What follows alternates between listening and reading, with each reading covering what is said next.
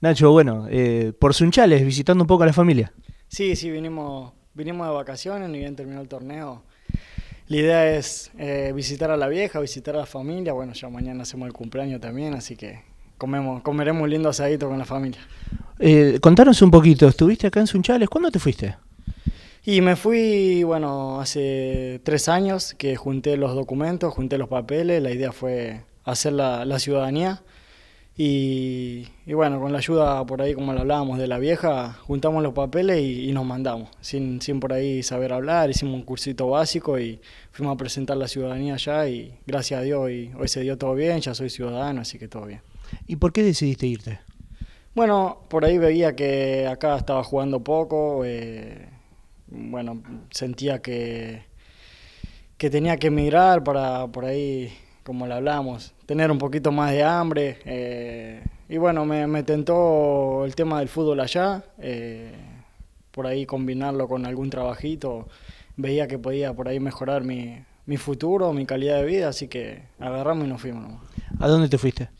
Bueno, arranqué en el sur de Italia, eh, arranqué jugando ahí, estuve un año y medio, donde bueno, ellos me hicieron la ciudadanía, pero bueno, antes de eso tuve un paso por Torino, que lo comentábamos, que ahí encontré justo a Cristian Acosta, el chico que jugaba acá en Unión. Él como que me apadrinó, digamos, eh, me ayudó eh, lo básico del italiano. Después de eso tuve seis meses, tuve que volver por el tema de la pandemia, eh, que, bueno, tuvimos el, el, coronavirus. Así que después con la vieja juntamos de vuelta unos mangos, nos fuimos de vuelta y ahí como te contaba, ya arranqué jugando en el sur, después pasé un poquito más por por el tema de, de Puglia, ahí un poquito más arriba, y ahora ya me encuentro en el norte de Italia. Eh, ¿Es complicado, es difícil el desarraigo, estar lejos de la familia?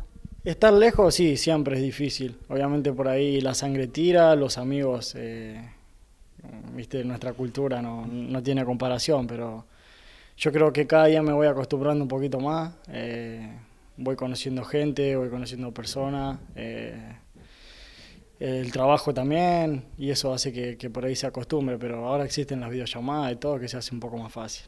Eh, ¿Se extraña? Sí, se, se, extraña volver a Italia, sí. sí.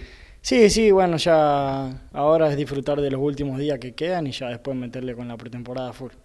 Eh, ¿Y para ir a dónde? ¿Dónde vas a jugar? Bueno, antes de ayer eh, hablé con el presidente por ahí, eh, me ofreció ir a por ahí a 15, media hora de donde estaba, que es la parte del norte estoy más o menos a una hora de Milán.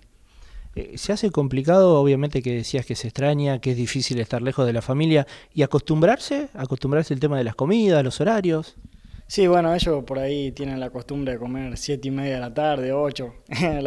Los primeros años sí fue fue que llegaba otra vez a las nueve y media y nosotros teníamos hambre, teníamos que entrarle a la fruta, pero bueno, nada, es como te contaba, es cuestión de acostumbrarse y yo creo que no estamos tan lejos de la cultura de ellos por ahí.